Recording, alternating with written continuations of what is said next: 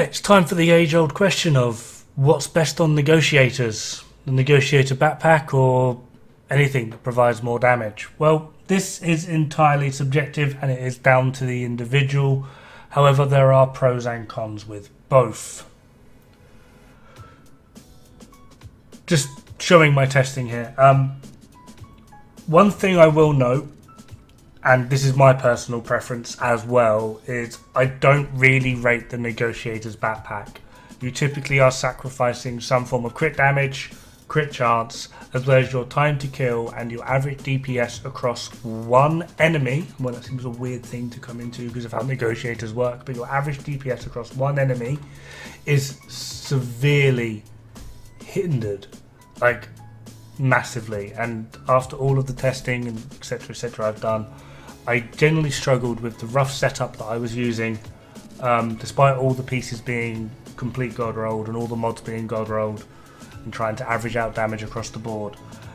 When using the Negotiator's backpack, I genuinely struggled to kill one named elite in a magazine.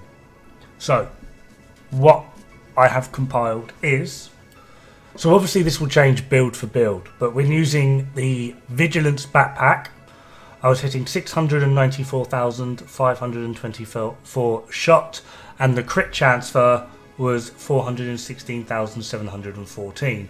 This gives me a total of 1,111,238.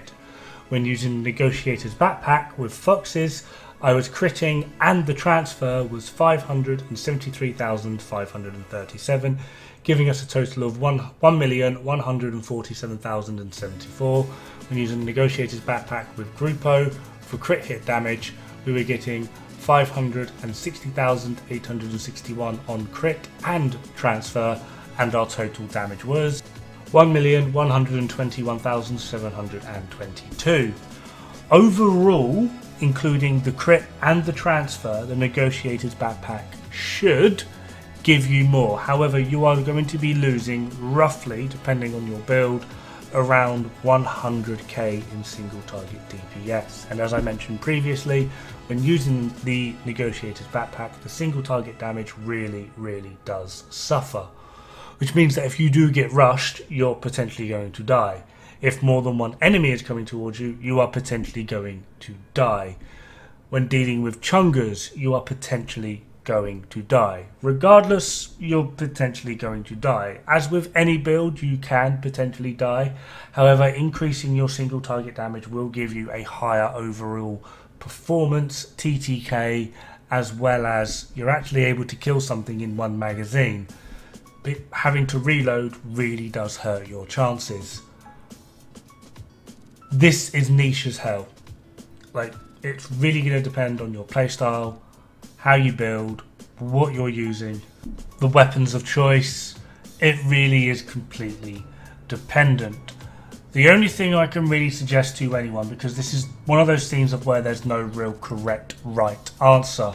For me, personally, not using the Negotiator's backpack is the way to go. Getting something like Vigilance in there with a Ceska piece simply just ups our crit chance and will technically give us a higher overall performance because our single target damage is going to be a lot larger, regardless of how you want to look at it. It's going to be larger because we now have two overarching damage talents on the chest and the backpack, provided that's how you build.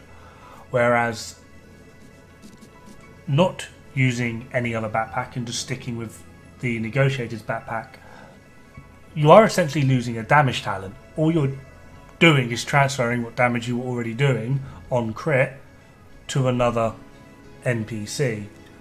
This technically isn't a damage increase, it's a DPS increase because rather than hitting once, you're hitting twice, but they're not to the same target.